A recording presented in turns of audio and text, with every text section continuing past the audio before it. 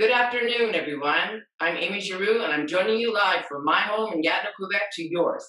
Uh, we're here to deliver what we like to call some great news. In these challenging COVID times, Global Vision is trying to create a place and a home for you to do a spotlight on what Canadians are doing from coast to coast to coast and what's happening on the international scene. In last week's episode, we gave a shout out to Global Vision graduate Frank Reardon for catching that amazing shot of the Nolinor airline uh, arriving in Iqaluit. And today, he's joining us live, and it's our first ever face to face call, Zoom call, to the Great White North. Frank, thanks for joining with us today. Thanks for inviting me.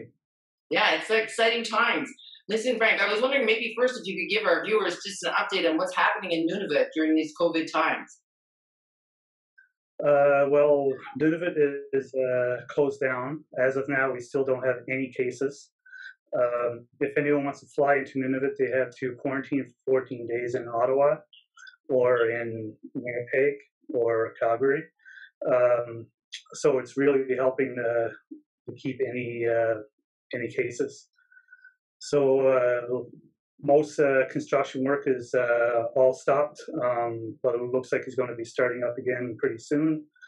And um, it's springtime, so it's a lot of daylight, and everyone is actually getting out and enjoying the beautiful weather here by skittering or skiing or whatever. Yeah, enjoying the land. You guys have the best play yard of all of Canada, that's for sure. Frank, maybe you could give us a little bit of the backstory of that great photo that you caught that was featured in Skies magazine.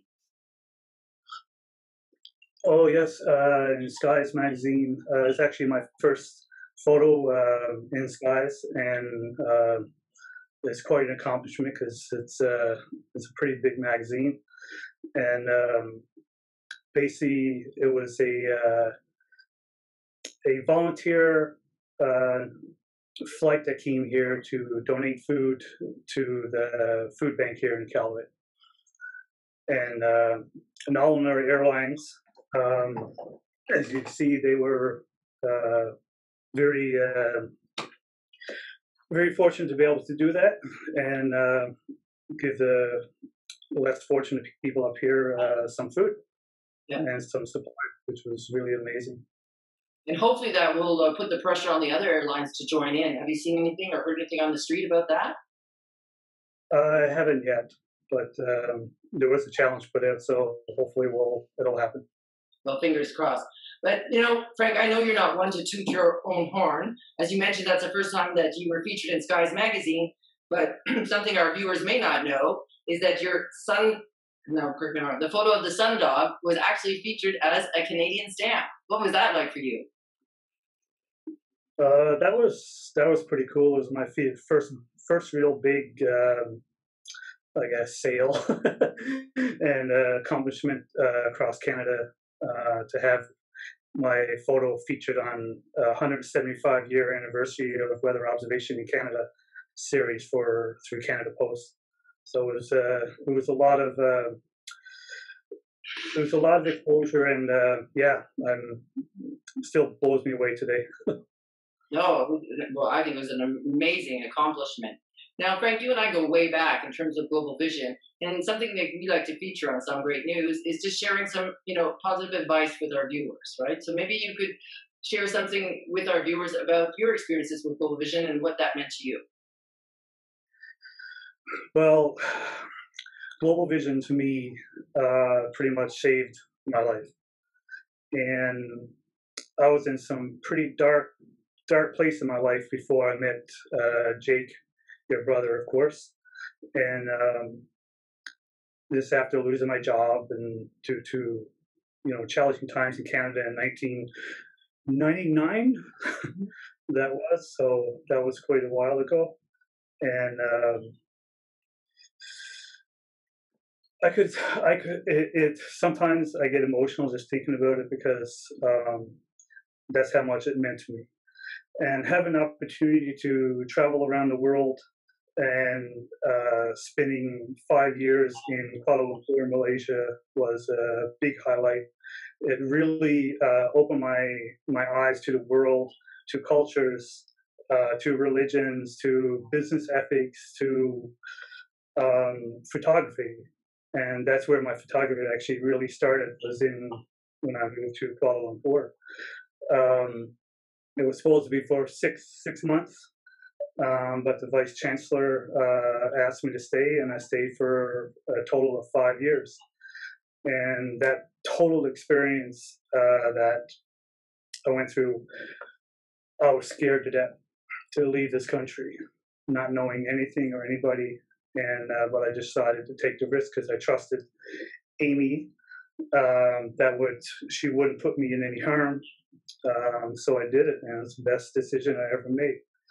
And it was a big stepping stone to where I am today um, as manager of IT for Nunavut Court of Justice in Iqaluit, Nunavut and uh, it helped me really, really appreciate and teach me uh, multicultures, which we do have here, and how to um, make the best of every day and every everybody that we meet. Because everyone you meet, like I say, is you know you keep in that golden rule of Rolodex because you never know um, how um, you'll need that person or that person will help you. And my advice one of the biggest things I I guess I could say, never be afraid, take the chance, and always be kind to everyone you meet because you never know that person may be your next boss or you may be their boss. And the relationship has to start at that very first moment when you meet. Well, that is some great advice, Frank. I can't think about it now. I mean, I still consider ourselves the same as 21 years ago, and I think you're still looking fabulous. And please just stay with us. I'm just going to take our our, our set to Calgary, Alberta, where Michael, Michael Badass is joining us to deliver some international news. Michael? Good morning, ladies and gentlemen. From Calgary, we have some great news today from south of the border in Texas. High school principal Verdi Montgomery, a principal from a high school in Texas, drove 800 miles over 12 days to visit all 600 of his graduating high school students.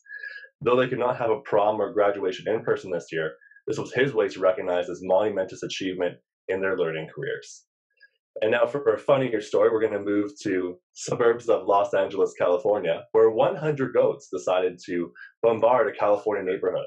Though it was bad social distancing, we thought it was a pretty good laugh. Back to you, Amy. Oh, thank you, Michael. You always bring a smile to my face. I love that goat shot. Mm-hmm. Now, joining us live from London, Ontario, is our president and founder, Terry Clifford, and my number one dad. How are you doing today, Terry? Uh, very good, thanks, Amy. And it's so great to see Frank. Uh, Frank, you didn't uh, tell the audience uh, about your background. You're from the Rock. Uh, tell us what it was like to be a teenager in Newfoundland.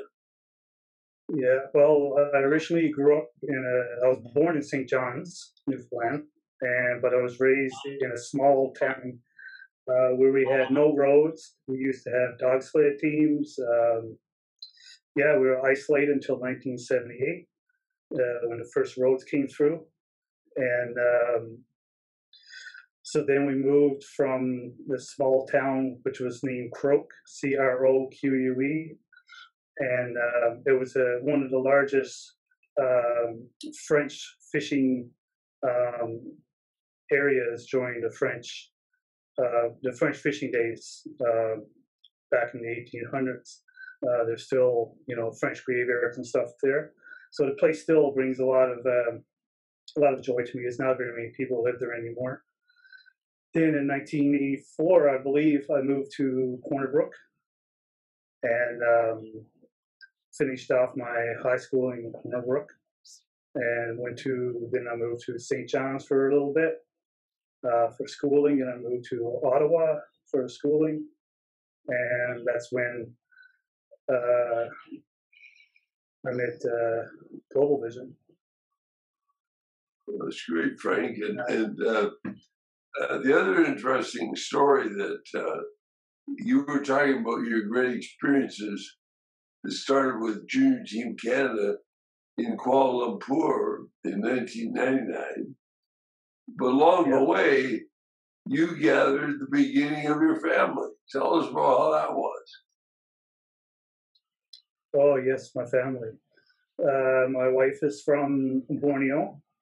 Uh, I met her while I was living in Kuala Lumpur. and um, at the after five years, we decided to uh, move back to Canada. Uh, we moved to Newfoundland, but there wasn't much work there, so we decided to take the chance and move north. So we both of us moved up here, and uh, just before we moved up, we had our first daughter, Averena. And while we were living up here, we had our uh, first son, Benjamin. And um, yeah, we've we've taken on to the north, my wife is loves the north, and and we made the north our home. We bought a home here, and uh, yeah, it's it's an amazing experience. And some of the other experiences up here is when you know meeting more people and meeting some uh, global uh, vision grads up here too from time to time that pass through you know teaching and and through uh, gatherings that uh, Amy puts off up here. I'm always here to help. Right. Well, Frank, you made a really good point when you talked about the importance of relationships. But an even more important point, well, equally important point, was your ability to just risk it. You you risked at first to, to leave Canada and join Junior Team Canada and Global Vision, but it, it, your life has really been a series of risks. And you're advocating to young people to just risk it to to go forward. You're pretty strong about that? I'm very strong. If you don't take the risk you never know and i took the risk went to malaysia and traveled around on my own towards uh, many countries while i was there in five years, and I believe I only visited Canada one time uh, my whole five years while I was there. So I took full advantage and merged into the culture. And uh, if you have a chance to live in another country, you should take it. If you want to learn about somebody, live there. Don't vacation there. Uh, very good, Frank. It's great advice. And um, I'd like to ask one other question going forward with Global Vision, uh, you know, you came to us in 1999, but here we are now uh, getting ready for our 30th anniversary of Global Vision. And mm-hmm. uh, so it's new times and new strategies, new methods to meet the new times. And especially now that we have COVID and we want to look ahead. So, how do you how do you see us approaching young people like we did you in 1999? How do you see that we can do that today? Well, we're doing it right now with this uh, Zoom session. And uh, um, because as a 19 guy, technology is mature, and a lot of people today are not into uh, everyone's got a cell phone. Right. So we have ways to bring youth into with the phones and technology has to be maximized to its fullest.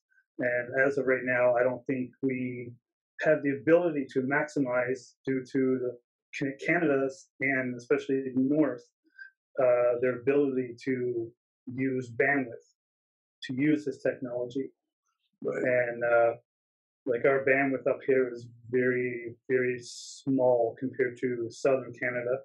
And Canada's bandwidth is very small compared to the United States. So we have to try to, you know, match other countries around the world, including Europe, but for Canada, this is where this is where we need to move forward with more technology, more video, more online. Especially if this if they don't find a cure or they don't, you know, we're in this for a long haul. I still think we could do things as long as we get the the bandwidth technology, and okay. we have to have from the government. Um, Frank, what what about the message? Let's say we have the technology what message should Global Vision be pushing out there in the in these different media?